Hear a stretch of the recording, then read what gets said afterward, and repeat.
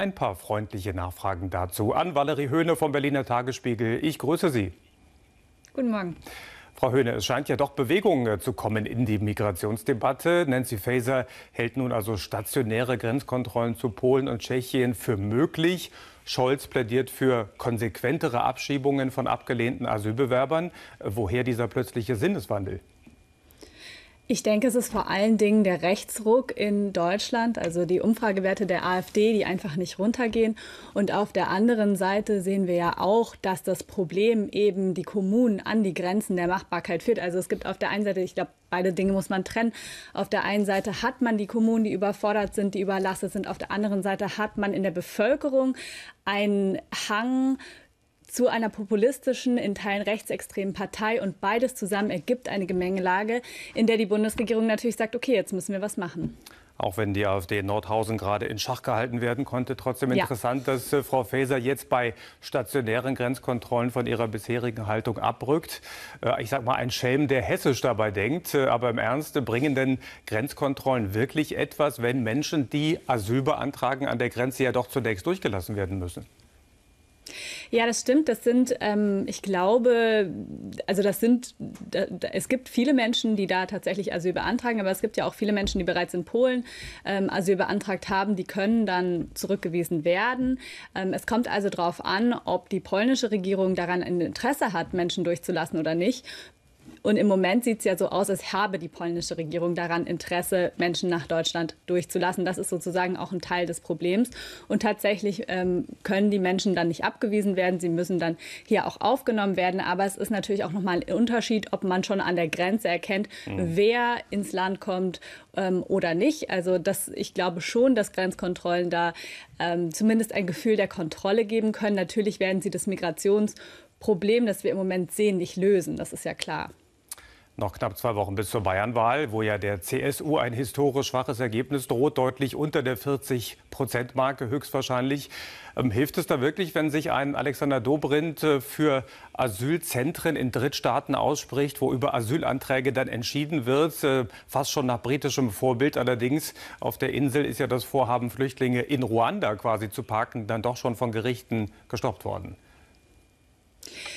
Ich glaube, dass die Union in diese Richtung weiter diskutieren wird, weil sie ja gesehen hat, dass 2016, 17 fortfolgende der EU-Türkei-Deal vor allen Dingen geholfen hat, die Zahlen derjenigen, die nach ähm, Europa kommen, zu begrenzen. Und ich denke, dass sie tatsächlich in diese, äh, in diese Richtung weiter diskutieren werden, auch nach der Bayernwahl. Und natürlich glauben sie, dass das jetzt was bringt. Ich halte es ehrlich gesagt ein bisschen für offen, ob dieses Aneinanderketten von Söder und den Freien Wählern, also von der CSU und den mhm. Freien Wählern, ob das wirklich so viel gebracht gebracht hat, das würde ich in Frage stellen. Die Debatte wird innerhalb der Partei sicherlich weitergehen. Aber zunächst einmal ist der Parteichef am Wochenende mit einem Rekordergebnis, nämlich von 96,5 Prozent als Parteichef bestätigt worden. Äh, wie deuten Sie diese überwältigende Zustimmung der Delegierten für Markus Söder? Äh, kommt die wirklich von Herzen? Das glaube ich ehrlich gesagt, also das wage ich zu bezweifeln, ob diese Zahlen so noch mal äh, sein würden, wenn er in Bayern jetzt bei der Landtagswahl deutlich unter 40 Prozent landet, was ja im Moment so aussieht. Dann glaube ich nicht, dass die Delegierten ihn noch mal mit 96 Prozent wählen würden.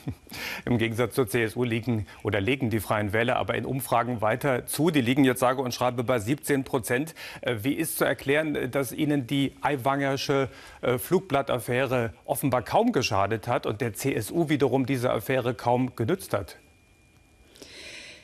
Ehrlich gesagt, ich glaube, das fragen wir uns alle so ein bisschen. Ich glaube, auf der einen Seite ist es vielleicht so, ein, so eine Art Backlash gegen, ähm, gegen eine vermeintliche Öffentlichkeit, die eine vermeintliche Jugendsünde so ähm, aufgearbeitet hat, wobei es ja nicht um die Jugendsünde tatsächlich geht, sondern um seine Aufarbeitung dessen, die ja also weniger als zufriedenstellend war.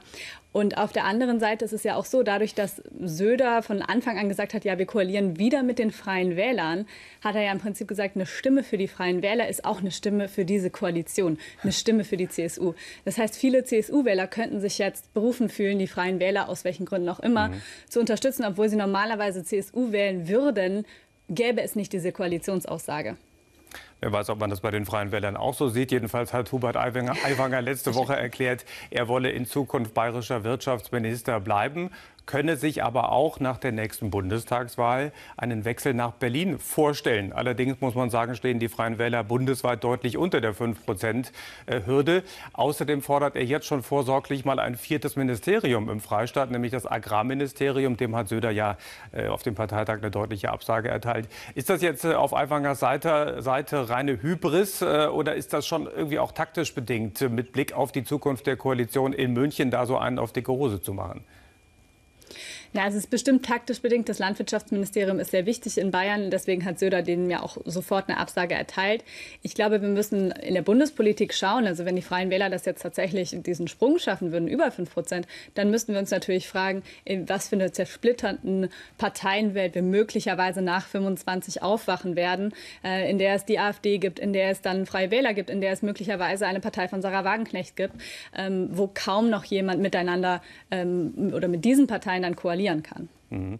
Was ähm, Aiwanger und Söder zumindest äh, verbindet, ist, dass äh, für beide die Grünen der Hauptgegner sind, äh, den beide gerne auch so als ja irre, äh, wirklichkeitsfremde Veganer darstellen, äh, die der Menschheit ihre Ideologie aufzwingen wollten. Letzte Frage mit der Bitte um eine kürzere Antwort. Verfängt denn so ein Zerrbild äh, von den Grünen und wenn ja, bei wem?